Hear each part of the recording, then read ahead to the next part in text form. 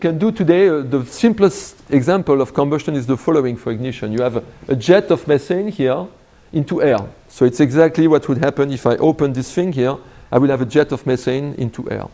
And the question which was raised here and studied experimentally by a few people, and we did an LES here, a large eddy simulation of this problem, is the following.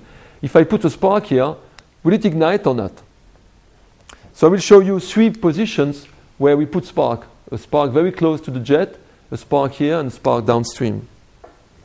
So this is the case where the spark is very close to the jet here. The spark is here, and what you see is the temperature.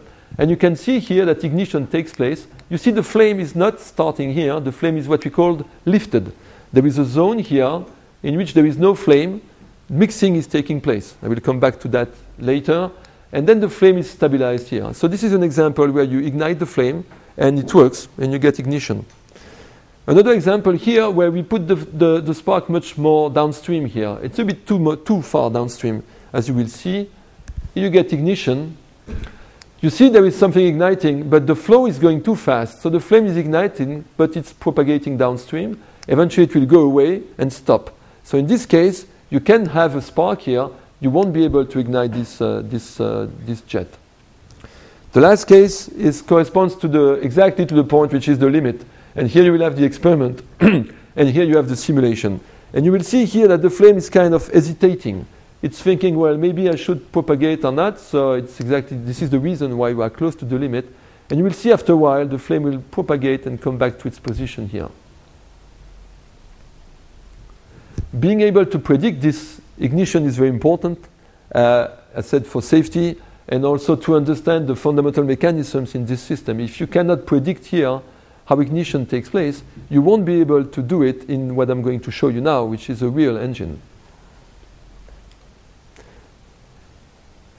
So when the thing is ignited, of course, it comes back to the same point as before. The question is, does it ignite or not? So now, I want to talk about helicopter engines a little bit. Helicopter engines are a different story. You don't reignite an helicopter engine. Uh, if the engine if the engine stops, you fall. Okay, that's uh, that's the general idea. But uh, you have to do something different with an helicopter engine. You have to be, to be able to start your engine on the ground, but also on a mountain. And it's a very important aspect of helicopters. For example, for safety, they have to go up on a mountain at five, six thousand meters. You have to be able to stop the engine and reignite it. And uh, things get complicated. If you think about uh, uh, you go to India and you stop on a mountain at 5,000 meters, if you stop long enough, the, the, the engine will be cold, but the batteries will be cold, and the fuel will be frozen. Okay, and now if you're working for Turbomeca, for example, they ask you, okay, now I want to reignite this thing. Uh, usually it's a tough work. One reason why it's difficult is that if the pressure is low uh, and uh, the atomization of the fuel is uh, very bad, it's very difficult to make sure that you're going to be able to ignite one sector here and propagate towards the others. You have seen that in a real combustion chamber, we have sectors, many of them, and usually we don't put sparks everywhere. We use injectors at some point, and then we hope that the flame will propagate to the other points. And if these things work, you will see here it, how it happens. You're looking at an engine from the combustion chamber here. It's like you're sitting on the turbine, and you will see how ignition proceeds here. There is only one, one point for ignition here you see the ignition started here and then it propagated like this and then the whole system was ignited. Uh, let me play it again. So this is an experiment. The main problem for, for people building helicopter engines is that you do that on the ground and it works. You do that at 2,000 meters and it works. You do that at 4,000 meters and then suddenly the flame starts and stops here. Or starts and goes there and stops again. And then you need to add a second ignition system. But you don't want to do that because it's heavy. On a helicopter, you know, the weight is really what you don't want to take with you. So it's a problem. You need to be able to predict when you will have propagation of this flame. So now it's not only a problem of igniting the first sector, it's a problem of knowing whether the flame will be able to jump to the other sectors. And that makes things interesting again for combustion science. So I'm just going to show you a computation here which was done um, two years ago on a full chamber, so that's a complete combustion chamber of uh, Turbomeca, where you have all these igniters here, all these uh, injectors, excuse me, which are injecting kerosene and air, and you have one igniter at the top, which is a jet of hot gases, and one igniter at the bottom, which is another jet of hot gases. And the question is, will this thing ignite or not? So um, in this case, it ignites. We picked up a case where ignition takes place. So you have here the blue zones correspond to high velocity. You have the injection here. You have the dilution jets. Here you have the hot injectors, these two guys here. And what is yellow is the place where reaction rate takes place.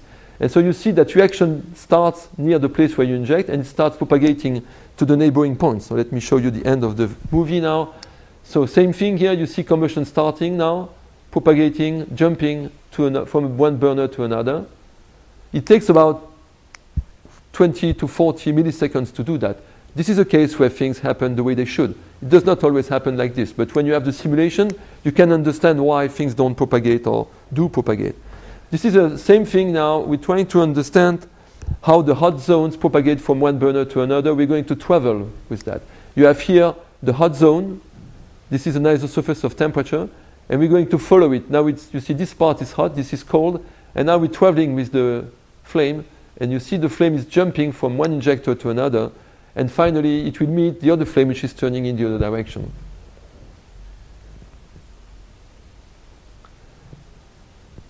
Fluid combustion, as I said, can be interesting. As you can see here, you get a nice mixture of transport, turbulence, chemistry, everything at the same time.